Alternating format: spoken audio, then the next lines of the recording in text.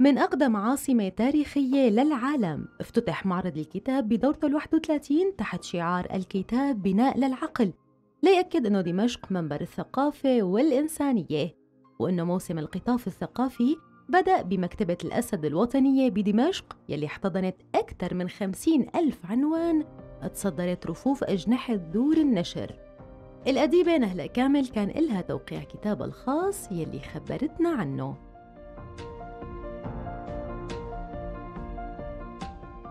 كتابي اسمه الشرق الغارق المتوسط.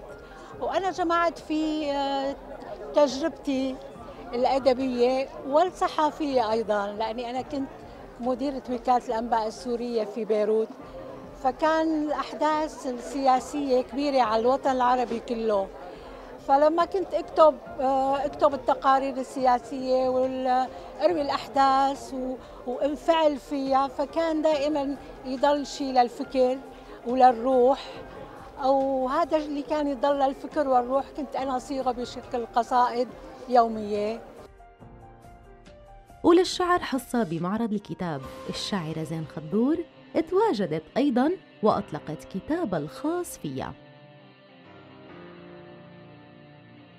مشاركتي اليوم بديواني الشعري الآن بين يديك.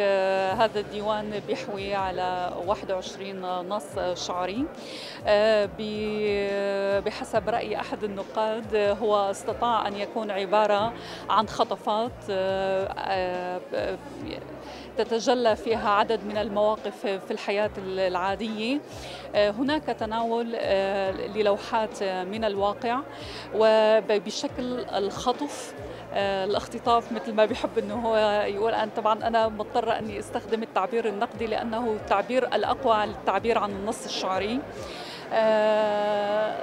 بتعبر عن إرهاصات الكاتب أو والمثقف خلال هذه المرحلة بين الهم الإنساني الوجداني والهم الوطني والهم القومي. فأول نص بطالعنا نحن هو نص آه، شخصية حنظلة الكاريكاتير العالم الكاريكاتير العالمي ناجي العلي اللي من خلاله نحن بنحاكي القضية الفلسطينية اللي كان اللي هي لا زالت وستبقى محور آه، قضايا هذه المنطقة. الثقافة هي رسالة الشعب السوري ورسالتنا من معرض الكتاب خبرناكم ياها بهالتقرير.